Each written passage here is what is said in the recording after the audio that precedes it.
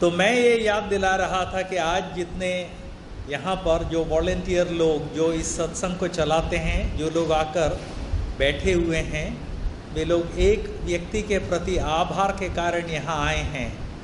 वो व्यक्ति हैं मनुष्य के सृष्टा प्रभु यीशु, जिनको उत्तर भारत में अपन ईसा भी कहते हैं। हिंदी में यीशु मसीह और या कुछ लोग ईसा मसीह भी बोलते हैं। प्रभु यीशु आज से 2000 साल पहले संसार पधारे थे। संसार में पधारने के बाद शुरू के 30 साल उन्होंने मेरे आपके समान जीवन बिताया, जिसके पीछे एक कारण था।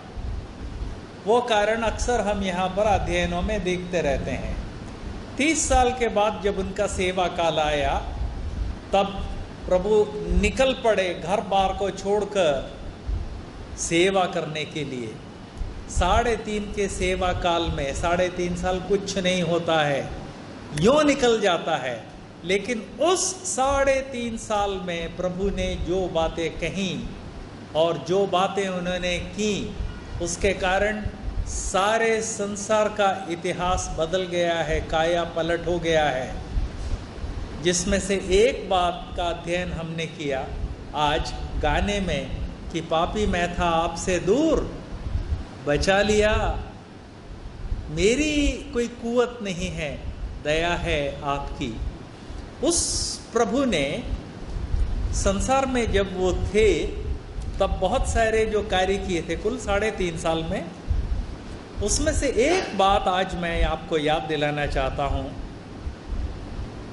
बाइबल के उत्तरार्ध में, जिसको अपन नया नियम कहते हैं, उसकी चौथी पुस्तक है यूहन्ना रचित सुसमाचार, या यूहन्ना के द्वारा लिखा गया शुभ संदेश, उसके छठे अध्याय को खोल लीजिए। यूहन्ना के छठे अध्याय को। यदि आपके पास यह ग्रंथ नहीं है, कोई बात नहीं है, मैं पूरा का पूरा आपको पढ़ के सुनाने जा रहा हूँ। तो इधर ध्यान दें तो आराम से आप सुन लेंगे कि मैं किस भाग के बारे में बोल रहा हूँ। वहाँ हम देखते हैं दूसरे पद में, एक बड़ी भीड़ प्रभु के पीछे होली, क्योंकि जो अद्भुत कार्य प्रभु बीमारों पर दिखाते थे, ये लोग इन बातों को देखते थे। घटना ऐसी है, संसार के सृष्टा, प्रभु यीशु जब मनुष्य रूप धारण करके मनुष्य को मुक्ति देने के लिए संसार में पधारे तो साढ़े तीन साल का उनका जो सेवा काल था, उस सेवा काल में प्रभु जगह जगह जगह जाकर जो भी उनके पास आता था, उसको जो ज़रूरत थी, वो ज़रूरत पूरी करते थे। कई अंधे प्रभु के पास आए, उन्होंने कहा, प्रभु आँखों को रोशनी मिल जाए। प्रभु ने उनमें से हर व्यक्ति को आँखों की रोशनी दी। कई लंगड़े आए, वो बोले कि प्रभु, यदि मैं चलने लगूं तो कम से कम काम धंधा कर सकूँगा, दूसरे के भरोसे नहीं रहना पड़ेगा। प्रभु ने उनको पैर दिया। ऐसे बहुत सारे लोग थे जो पूरी तरह से पैरलाइज्ड थे, जो सिर्फ़ आँखों से देख सकते थे। उनके दोस्तों ने उनको प्रभु के पास ले जाकर प्रभु से विनती की, प्रभु, इसके ऊपर आपकी दया दृष्टि हो जाए तो इसका जीवन बच जाएगा। और प्रभु ने जो भी इस तरह से प्रभु के पास लाया गया, प्रभु ने उसको स्वास्थ्य दिया, उसको चंगाई दी। इतना ही नहीं, जब हम प्रभु के साढ़े तीन साल के सेवा काल को देखते हैं तो और भी अद्भुत बातें देखते हैं, जैसे कि लोग जिनकी मृत्यु हो गई थी, जिसके बारे में कोई उम्मीद नहीं थी, मृत्यु के बाद तो सब समाप्त हो जाता है। ऐसे लोगों, लोग, लोगों को भी देखकर प्रभु ने उनके ऊपर दया दिखाई। प्रभु ने कहा कि मेरे बच्चे, मेरी बच्ची, पुनर्जीवित हो जाओ। चाहे पुरुष हो स्त्री, जब प्रभु ने ये आज्ञा दी कि मेरे बच्चे तुम पुनर्जीवित हो जाओ तो वो फिर से जीवित हो गए। तो प्रभु के, प्रभु का सेवा काल था तो सिर्फ़ साढ़े तीन साल का, लेकिन इस साढ़े तीन साल में प्रभु ने जो अद्भुत कार्य किए, उसकी कोई सीमा नहीं थी।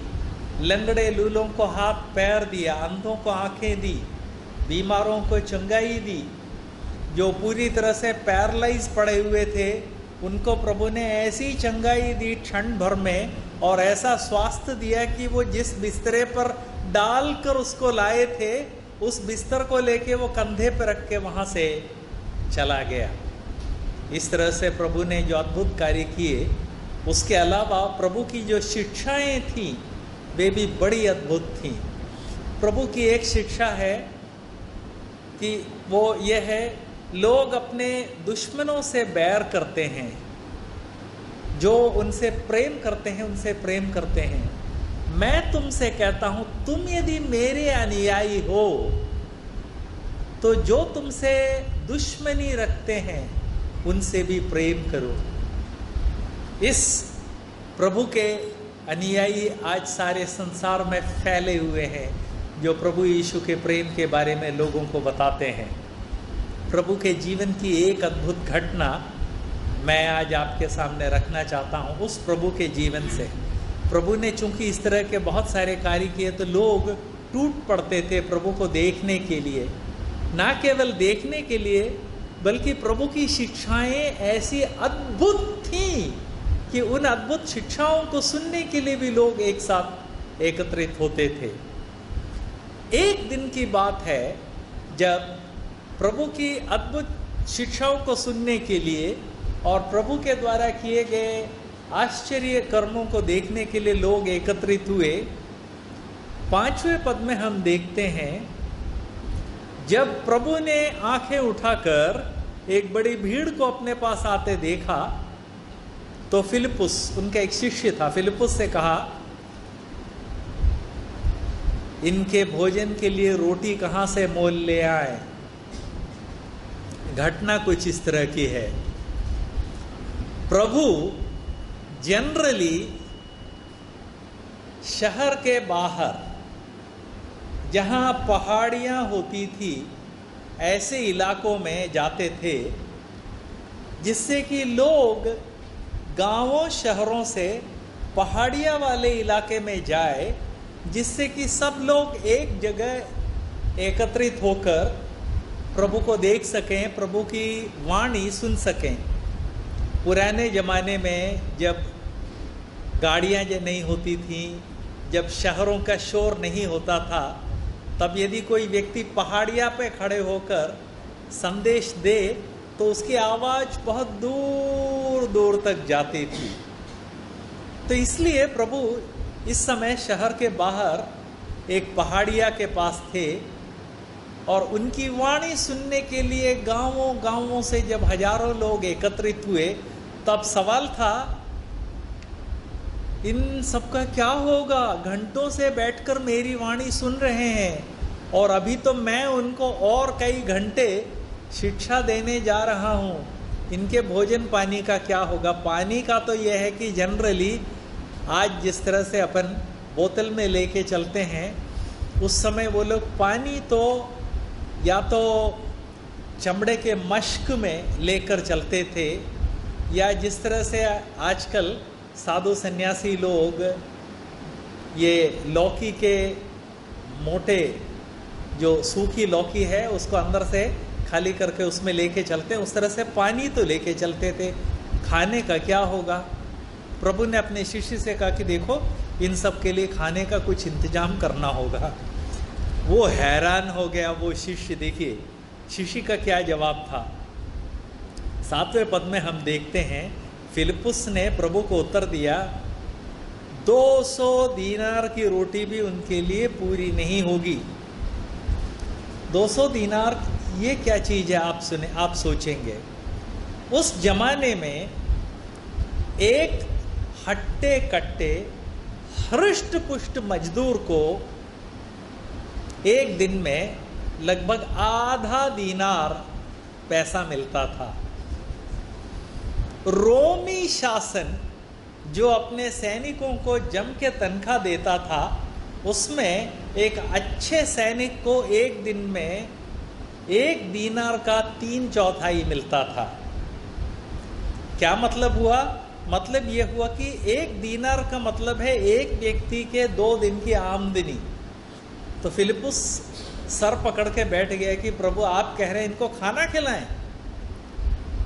400 लोगों की आमदनी 400 मजदूरों की आमदनी यदि कलेक्ट कर लें, तब भी इतनी रोटी नहीं आ पाएगी कि उनको एक एक टुकड़ा मिल सके।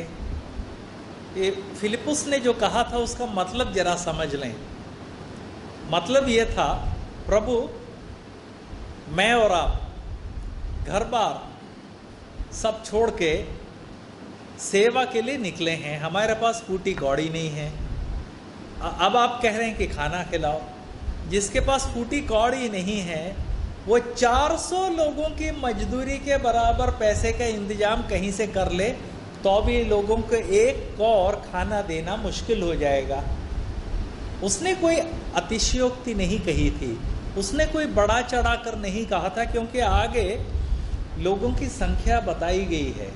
उससे ये बिल्कुल अनुमान हो जाता है कि इतने, इतनी बड़ी भीड़ को खाना देना बहुत मुश्किल था। और उसको प्रभु के शिष्य ने बहुत अच्छी तरह से उसको व्यक्त किया। कहने का मतलब कि कम से कम हज़ार लोगों की मजदूरी एकत्रित करें, तब इनको भरपेट भोजन दे सकेंगे। जिसके पास फूटी कौड़ी नहीं है, गुरु शिष्य, वो अब इनको क्या खिलाएँगे? ये था फिलिपुस के कहने का मतलब। लेकिन प्रभु ने जब फिलिपुस से कहा कि इनको खाने के लिए कुछ दो तो प्रभु इस बात को जानते थे कि वे उस दिन क्या कार्य करने जा रहे हैं। आठवें पद में हम पढ़ते हैं, प्रभु के चेलों में से शमौन पत्रस के भाई अंद्रयास से, अंद्रयास ने उससे कहा यहाँ एक बच्चा है जिसके पास जौ की पाँच रोटी है और दो मछलियाँ हैं, इससे क्या होगा? ये घटना जो मैं आपको बता रहा हूँ, ये आज से 2000 साल पहले मध्य पूर्व में घटी थी। मध्य पूर्व में लोगों की आदत थी कि जब वे यात्रा करते थे तो अपने साथ जौ की रोटियाँ ले लेते थे। मछली भून कर ले लेते थे। ये उनका भोजन था। उसके साथ साथ मश्क में पानी भर लेते थे। तो ये जो हज़ारों लोग थे उनके सबके बीच में ढूंढा गया कि किसी के पास कुछ है क्या। ये लोग कोई पिकनिक के लिए थोड़ी वहाँ आए थे जो उनके पास खान पान होता। ये लोग तो प्रभु की वाणी सुनने के लिए आए थे। जल्दबाजी में आए होंगे और इस, कारण में से किसी के पास भी कुछ भी नहीं था। बस एक बालक था जिसकी माँ ने बहुत ही ख्याल के साथ जब बेटा गया, माँ को मालूम था कि बेटा दिन भर वहाँ प्रभु के, प्रभु की उपस्थिति में रहेगा। इस कारण माँ ने उसको जौ की बनी हुई पाँच रोटियाँ दे दी। माँ भी, मुझे लगता है, सोच समझ के उन्होंने किया, बच्चा, एक रोटी से ज़्यादा क्या खाएगा? बड़ी मोटी रोटी होती है, शायद आधा भी ना खाए। लेकिन माँ ने सोचा होगा कि जब बच्चा जाएगा तो उसके भाई बहन, उसके कज़िन अड़ोस पड़ोस के लोग होंगे तो उसको यदि पाँच रोटी दे दें तो वो उसको लाद कर ले जाएगा और वो सब लोग बैठ के खा लेंगे। इसलिए माँ ने इतना खाना दिया। तो ये जो जितने सारे लोग थे, सब में तलाशने के बाद कुल मिला के मिली। उनको प्रभु के पास क्या खबर पहुँची? प्रभु, पाँच रोटियाँ हैं। और जो लोग यात्रा करते हैं, उन लोगों के हिसाब से भुनी हुई दो मछलियाँ हैं, बस। पानी का, पानी की बात यहाँ इसलिए नहीं हुई कि लोग मशकों में पानी लेके जाते भी थे और वहाँ आसपास हो सकता है कोई नदी, नहर भी रहा हो जहाँ जाके लोग पानी पी लें। संसार के सृष्टा के लिए ये एक अद्भुत अवसर था, जब वे इन हज़ारों लोगों के सामने ये प्रमाणित कर सकते थे कि मैं सृजनहार हूँ और सृजनहार होने के कारण मैं तुम्हारा पालनहार और तारणहार भी हूँ। प्रभु ने कहा, लाओ, देखिए यहाँ लिखा है। यीशु ने कहा, लोगों को बैठा दो। एक औसत व्यक्ति होगा तो उसको लगेगा कि ये कुछ मज़ाक हो रहा है क्या? यहाँ हज़ारों लोग हैं। प्रभु के पास पाँच रोटियाँ ले जाई गई और प्रभु कहते हैं, लोगों को बैठा दो। लेकिन हाँ उन लोगों को ये नहीं मालूम था कि प्रभु क्या करने जा रहे हैं, लेकिन प्रभु पर विश्वास था। और यहाँ लिखा हुआ है कि उस जगह बहुत घास थी। इसके आधार पर मैंने कहा कि हो सकता है आसपास कोई नदी नाला भी हो, पानी की व्यवस्था हो जाए। तब लोग, जिनमें पुरुषों की संख्या लगभग पाँच हज़ार की थी, बैठ गए। इसका क्या मतलब है? प्रभु ने कहा, बैठा दो। उस जमाने में कहीं खान पान के लिए जाते थे तो ज़मीन पर बैठकर खाते थे। अभी भी हम जानते हैं, गाँव में शादी ब्याह होता है या पार्टी होती है, बाकायदा टाट पट्टी बिछाई जाती है, अपन टाट पट्टी पे बैठ के खाते हैं। जहाँ घास बहुत है, वहाँ टाट पट्टी की ज़रूरत नहीं है। सब लोग घास पे बैठ गए। कितने लोग थे? पुरुष पाँच हज़ार थे। यदि किसी धार्मिक सभा में पाँच हज़ार पुरुष हों तो टोटल संख्या कितनी होगी? किसी भी धार्मिक सभा में पुरुष ज़्यादा होते हैं या स्त्रियाँ ज़्यादा होती हैं? स्त्रियाँ ज़्यादा होती है, भक्ति की भावना उनमें ज़्यादा होती है। तो पाँच हज़ार यदि पुरुष थे तो कम से कम पाँच हज़ार तो स्त्रियाँ भी होंगी। कुल मिला के दस हज़ार लोग वहाँ रहे, सब बैठ गए। फिर प्रभु ने क्या किया? यहाँ लिखा हुआ है, तब प्रभु यीशु ने रोटियाँ ली और धन्यवाद करके बैठने वालों को बांट दी। इसी घटना को प्रभु के अन्य शिष्यों ने लिखा है, उसमें हम देखते हैं, प्रभु तोड़ तोड़ के देते गए, बांटते चले गए। वैसे ही मछलियों में से जितनी चाहते थे बांट दिया। क्या उसका परिणाम हुआ? खाकर तृप्त तो हो गए। पाँच हज़ार पुरुष, जिसके साथ कम से कम पाँच हज़ार स्त्रियाँ रही होंगी, बच्चों की संख्या तो अपन सोच भी नहीं सकते। पाँच रोटियों को लेकर प्रभु ने धन्यवाद देके तोड़कर जब दिया तो पाँच हज़ार पुरुष समेत कम से कम दस हज़ार लोगों को उस दिन भोजन मिला। क्यों? इसका क्या मतलब है? प्रभु ने लोगों को ये प्रदर्शित किया, मैंने इस संसार की सृष्टि की है। मैंने एक आज्ञा से जब मैंने कहा कि आकाश और पृथ्वी उत्पन्न हो तो आकाश और पृथ्वी उत्पन्न हो गए क्षण भर में। मैं वही प्रभु हूँ, जो न केवल सृष्टि करता है बल्कि पालनहार है, तुम्हारा पालन करता है, और चूँकि मैं पालनहार हूँ तो आज मैं तुमको प्रैक्टिकल तरीके से प्रदर्शित करके दिखाना चाहता हूँ कि मैं तुम्हारा पालन कर सकता हूँ, कर रहा हूँ, और इसलिए उन्होंने उस पाँच रोटी से हज़ारों लोगों को उस दिन भोजन दिया। एक बार जब हम समझ जाते हैं कि सृष्टिकर्ता सृजनदार सृजनहार भी है पालनहार भी हैं, तब ये समझना हमारे लिए आसान हो जाता है कि वे प्रभु न केवल सृजनहार है पालनहार है, लेकिन उद्धार देने वाले, मुक्ति देने वाले तारणहार भी हैं। इस घटना के द्वारा प्रभु ने यह प्रमाणित किया उस बड़ी भीड़ के सामने कि वे इस संसार में हमको मुक्ति तारण देने के लिए, हमारे त्राणी है, तारणहार है, मुक्ति देने के लिए पधारे हैं। यहाँ कुछ बातें और भी दी हुई हैं जो मैं आपको बताना चाहता हूँ। बारहवें पद में हम देखते हैं, जब वे खाकर तृप्त हो गए तो प्रभु ने अपने चेलों से कहा, बचे हुए टुकड़े बटोर लो, जिससे कि कुछ भी फेंका ना जाए। आप कहेंगे कि खाने के बाद जो जूठा बचा था, वो काहे को बटोर लिया? यहाँ दो बातें हैं। ये जो बटोरा गया था, ये खाने का जूठा था या नहीं, ये यहाँ नहीं लिखा है। संभावना इस बात की है कि रोटी तोड़ के देते गए देते गए देते गए देते गए, और लोगों ने उसमें से जितनी ज़रूरत थी वो ले लिए, लेकिन बाकी जो उनको दिया नहीं जा सका, उसको प्रभु ने कहा कि बटोर लो। दूसरी संभावना ये भी है दे दिया, खाने के बाद जो जूठा है प्रभु ने कहा कि उसको भी मत फेंको। हम में से कई लोगों को लगता है कि खाने के बाद जो जूठा बचा है, अब उसकी कोई उपयोगिता नहीं है। प्रभु ने कहा, नहीं नहीं, उसको फेंकना नहीं है। क्यों? इस, इसका भी मतलब बताने के बाद हम इसके आत्मिक पाठ को देखेंगे। संसार के जो सृष्टा हैं, उन्होंने संसार में किसी भी चीज़ की सृष्टि व्यर्थ नहीं की है।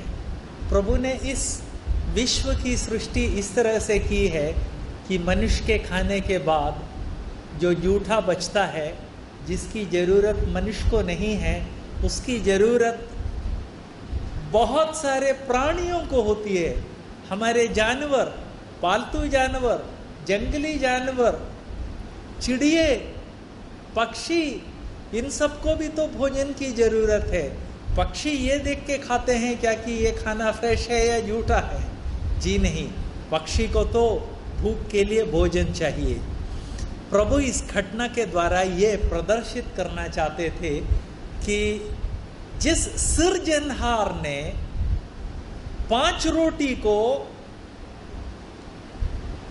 बढ़ाकर पाँच हज़ार पुरुष समेत कम से कम दस हज़ार लोगों को खिलाया, वे प्रभु, न केवल मनुष्य बल्कि संसार में जो अन्य प्राणी हैं, उनका भी ख्याल रखते हैं। इस कारण प्रभु नहीं चाहते कि प्रभु ने जिस चीज़ की सृष्टि की है, वो बर्बाद हो जाए। इतनी सारी बातें प्रभु ने उनको वहाँ बताई, और यहाँ लिखा है कि बारह टोकरी भोजन बच गया। बारह टोकरी। आप पूछेंगे टोकरियाँ कहाँ से आ गई? ये कोई ताज्जुब की बात नहीं है गाँव वाले, खासकर मैं और आप। मेरा भी जन्म एक गाँव में ही हुआ था।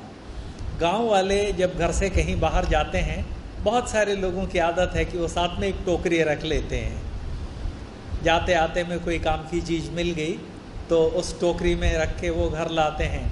आज शहरी लोग कहीं जाते हैं तो साथ में एक थैला ले जाते हैं। इसी का एक रूप है, पुराने ज़माने में अपन टोकरियाँ मैं तो मेरे बचपन में तो मुझे अभी भी याद है, मैं दादाजी के साथ जब भी गाँव से बाहर निकलता था तो एक टोकरी तो साथ में लेके जाते ही थे।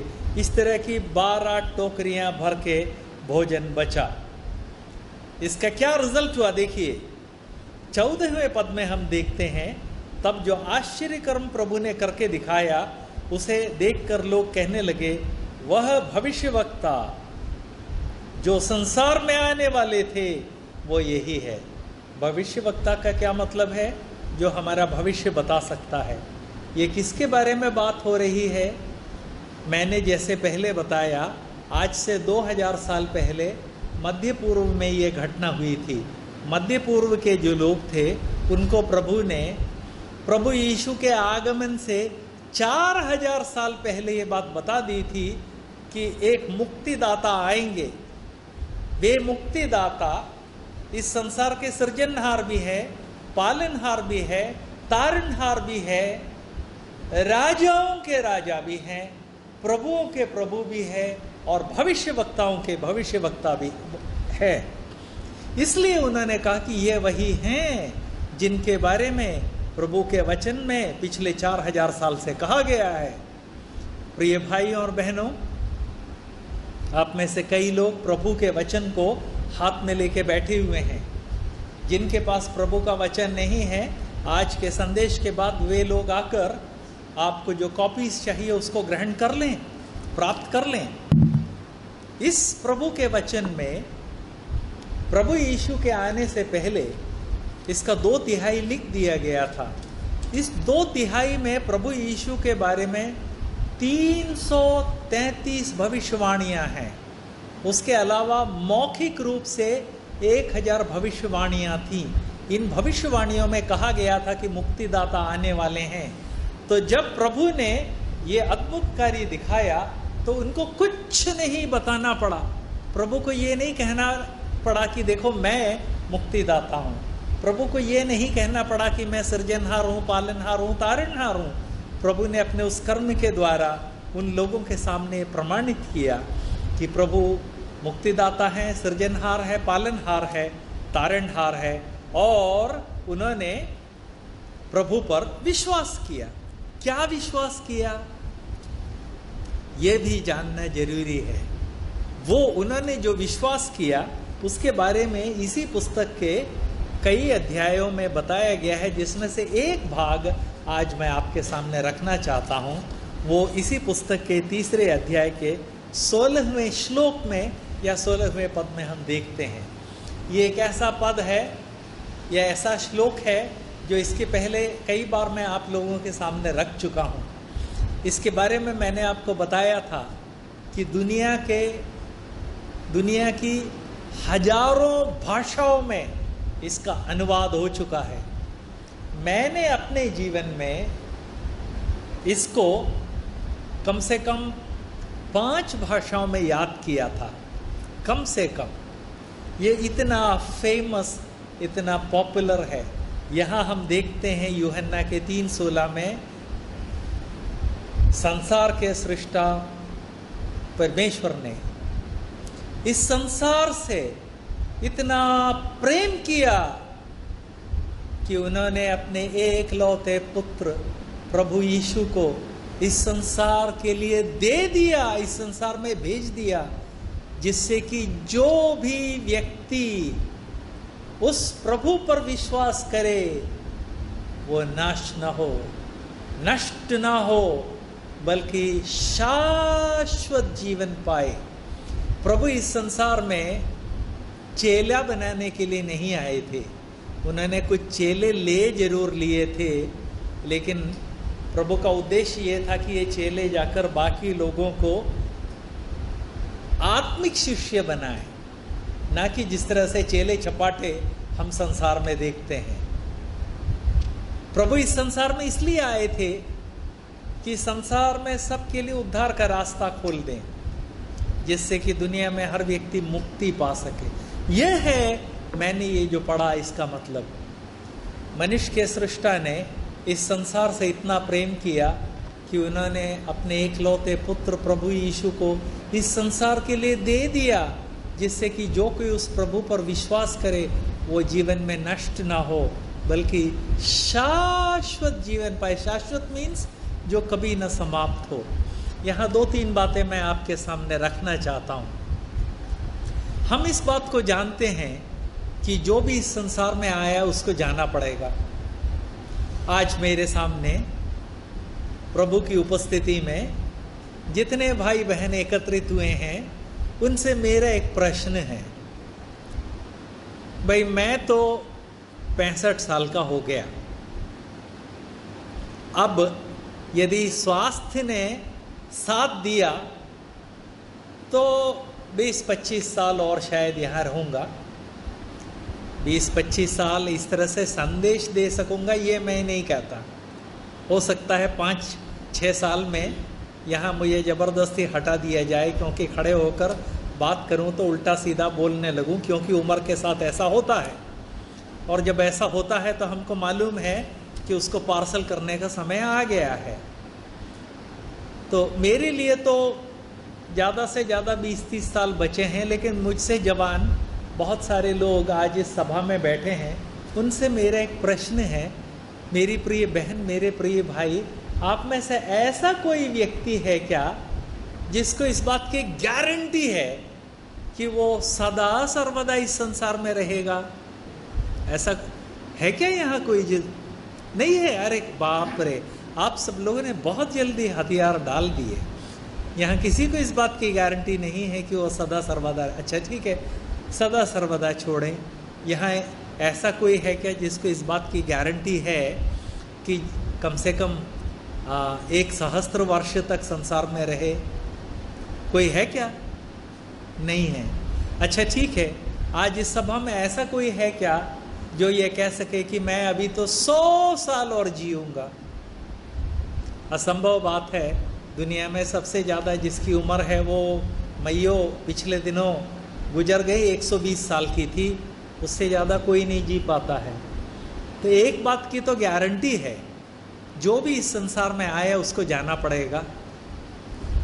वो श्लोक जो मैं हमेशा सुनाया सुनाया करता हूँ, आया है सो जाएगा, राजा हो, रंक हो, फकीर हो। मतलब चाहे राजा हो या भिकारी हो, या जिसने सब त्याग दिया उसको जाना ही पड़ेगा। कोई व्यक्ति नहीं है जो नहीं जाएगा। अब सवाल यह है, कहाँ जाएँगे? यह है जिसके बारे में प्रभु का वचन कहता है कि वो नष्ट ना हो, बल्कि उसको शाश्वत जीवन मिले। इसका क्या मतलब है? देखिए, मनुष्य बहुत सारी बातें अपने आप जानता है। हम में से हर व्यक्ति इस बात को अपने आप जानता है कि संसार को छोड़कर जब हम चले जाएँगे, तब हम या तो सनातन प्रभु की उपस्थिति में जाएँगे। या सदा सर्वदा प्रभु से दूर उस शाश्वत अंधकार में जाएँगे, जहाँ सिर्फ़ रोना और पीटना होगा। प्रभु का वचन क्या कहता है? प्रभु यीशु संसार में इसलिए आए कि उनके द्वारा हम उस शाश्वत नरक में न जाके शाश्वत स्वर्ग में जा सकें। आज संध्या को प्रभु का वचन जो भाई और बहन सुन रहे हैं, उन सबसे मेरी याचना है, मेरी विनती है, मेरे प्रिय भाई, आज प्रभु ने अपने वचन से आपको मुक्ति के बारे में बताया, उद्धार के बारे में बताया, उसकी उपेक्षा ना करें। मैंने जो घटना आपको पढ़ के सुनाई उस घटना में प्रभु यीशु ने इस बात को प्रमाणित किया कि वे संसार के सृजनहार, पालनहार और तारणहार हैं। और जब प्रभु ने ये करके दिखाया तो बहुत सारे लोगों ने प्रभु पर विश्वास किया। उस घटना को मैंने आज आपके सामने इसलिए रखा कि उसके आधार पर हम, प्रभु के वचन के आधार पर इस बात को समझें कि प्रभु, इस संसार में मुझे और आपको एक नया जीवन देने के लिए पधारे थे। सृजनहार इस संसार में तारणहार या मुक्तिदाता के रूप में पधारे, जिससे कि मुझे और आपको मुक्ति दे सकें। आज संध्या को इस सभा में जितने लोग एकत्रित हुए हैं, इनमें से यदि मैं हाथ उठाने को बोलूँ तो आगे से लेकर पीछे तक कई लोग, यदि मैं उनसे पूछूँ, मेरे प्रिय भाई, मेरी प्रिय बहन, यदि आपको इस बात का निश्चय है कि आपने प्रभु पर विश्वास करके मुक्ति पाई है तो जरा हाथ उठाइए। तो इनमें से कई लोग हाथ उठाएँगे, बहुत सारे लोग हाथ उठाएँगे। प्रार्थना के लिए जो भाई आगे आए थे अनाउंसमेंट के लिए जो भाई आगे आए थे, ये बच्चे जो यहाँ पर खड़े होकर संगीत उपकरण बजा रहे थे, ये भाई लोग जो यहाँ पर खड़े होकर आपके सामने गाना गा रहे थे, ये सब आपके सामने क्यों आए? अपनी योग्यता दिखाने के लिए क्या? नहीं। अपनी योग्यता का उपयोग करने के लिए, जिससे कि वे लोग आत्मिक रूप से आपकी सेवा कर सके। कैसी सेवा?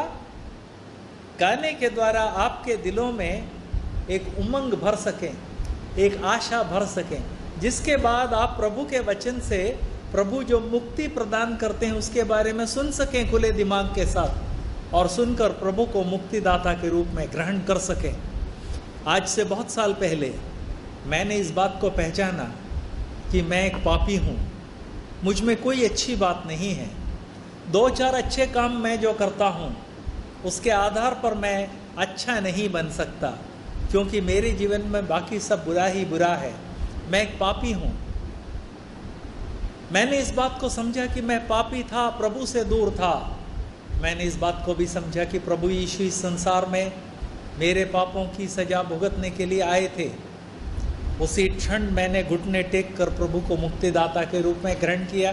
तब से मेरे जीवन में एक नई आशा है, एक नई उम्मीद है, एक नई खुशी है, एक नई शांति है और एक नया कॉन्फिडेंस हियाव है कि जब मैं इस संसार को छोड़ जाऊँगा, आया है सो जाएगा, मैं आया, मैं जाऊँगा लेकिन जब मैं जाऊँगा तो शाश्वत अंधकार में नहीं, शाश्वत ज्योति में प्रभु के साथ रहूँगा।